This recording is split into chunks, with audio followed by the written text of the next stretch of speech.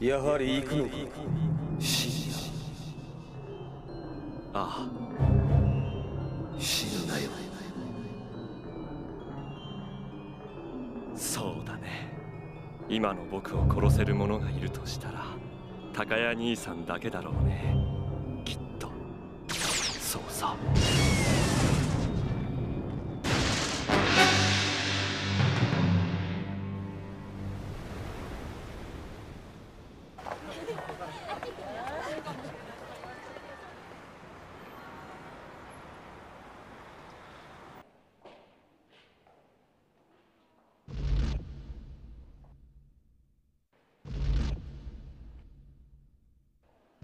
ディボーイ。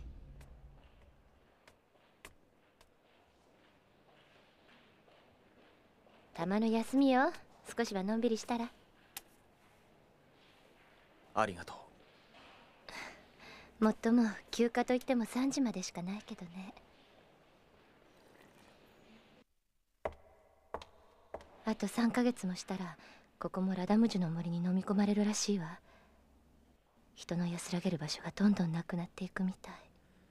今の地球に安全な場所なんかないさ。安らげる場所なんかあるわけがない。そうね。ごめんなさい。本当はのんびりしている余裕なんて私たちには。奴は。奴は待ってくれない。奴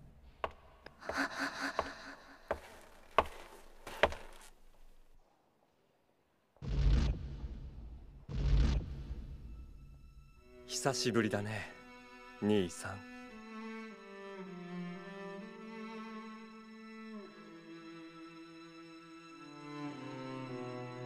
元気そうだね。安心したよ。でも少し痩せたかな。この傷フリッツにやられたんだね。まるで涙を流しているみたいだよ。お前もか。お前もそうなのか？もう分かってるだろ兄さん。アキアキできるだけ多くの人をこの場所から逃がすんだ。逃がすってデボイ。いいじゃないか別に。言ってくれアキ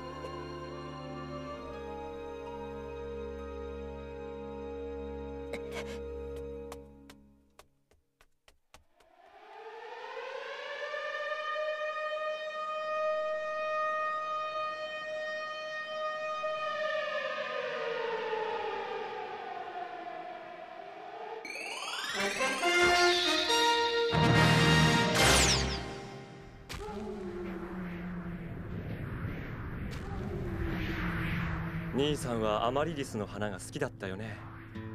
いやそれはみゆきだったかな。でも今はこっちの方がしっくりこないかい？どう？このラダムジの香り。わざわざそんな話をしに来たのか？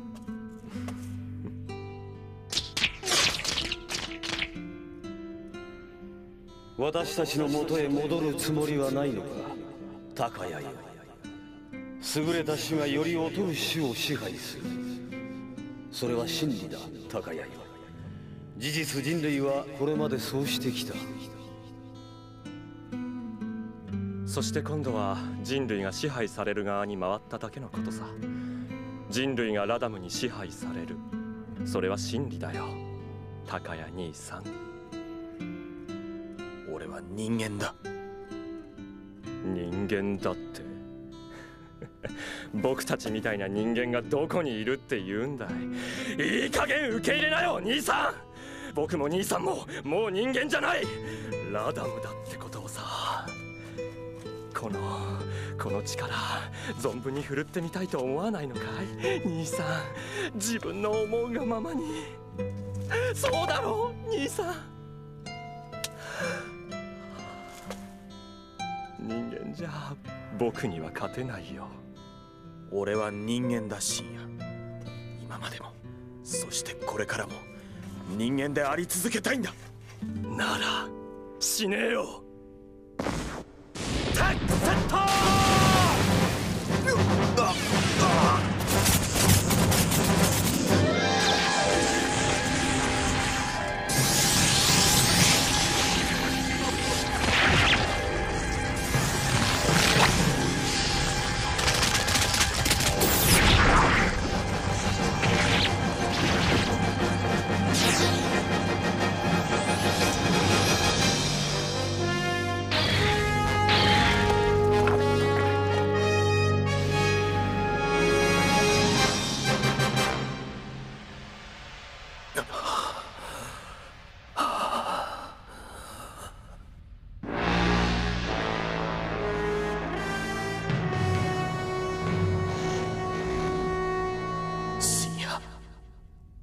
似合うよ。兄さん。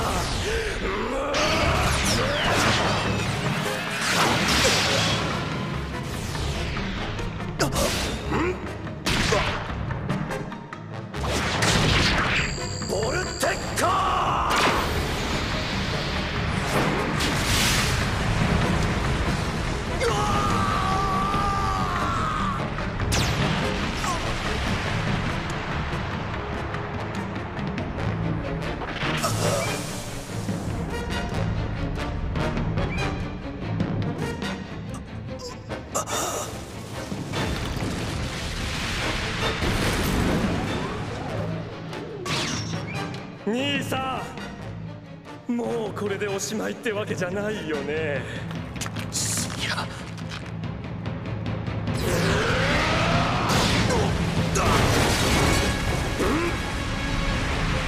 どうだい？僕たちのこの体すごいじゃないか。兄さん。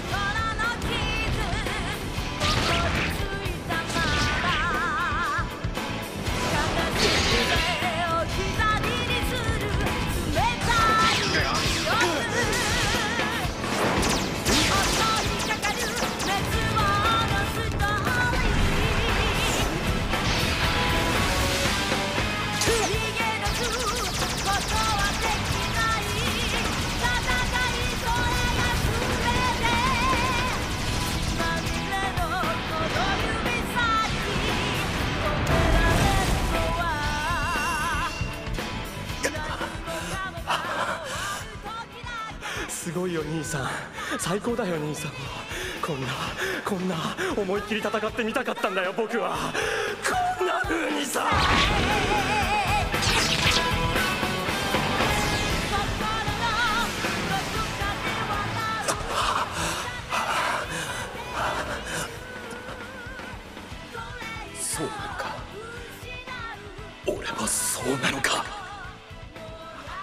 分かったろ兄さん。僕たちは僕たちは戦うためにもう一度もう一度生まれ落ちてきたんだ！深夜俺が俺たちが求めていたものは「